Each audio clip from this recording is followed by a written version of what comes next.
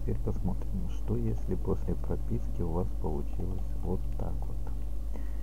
Смотрим, допустим, мы прописали эти 605 колеса грузовику. Бывает там все нормально, да, все хорошо становится, но бывает, что автор что-то забудет дописать в прописку. И вот мы запускаем посмотреть, не забыл ли автор, не перепутал ли что-то дописать. Оп, и видим, перепутал, забыл что-то, да. То есть его прописка, которую мы прописали, показывает, что что-то отсутствует. Ну, мы видим даже здесь он молчит, поэтому такой вариант с красными колесами говорит о том, что не дописана одна из деталей этих колес. Надо посмотреть, что. Так, я для этого, допустим, открыл занозу, загрузил колеса. И смотрите, сколько деталей. Раз, два, три, четыре, пять. Помним, что у нас было в прописке. Вот она наша прописка. Итак, матов.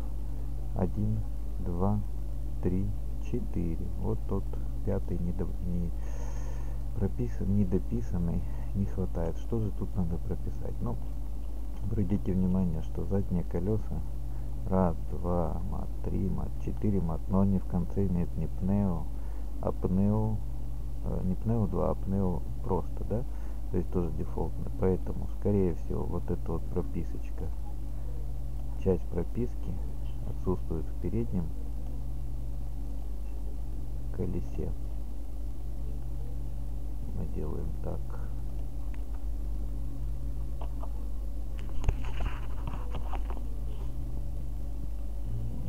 надо чтобы не вот а здесь отсутствует одна часть пнео ну тут интуицию можно включить да?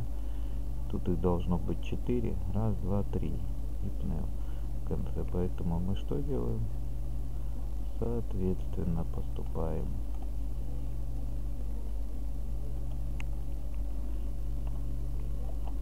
так 5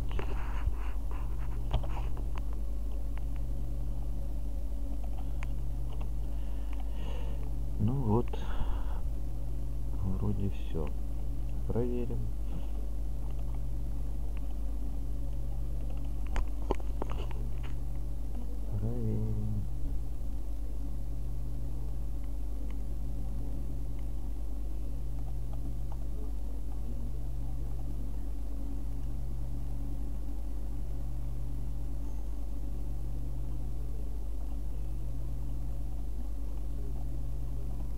Оп, все нормально, да? То есть все, колесики стали на место.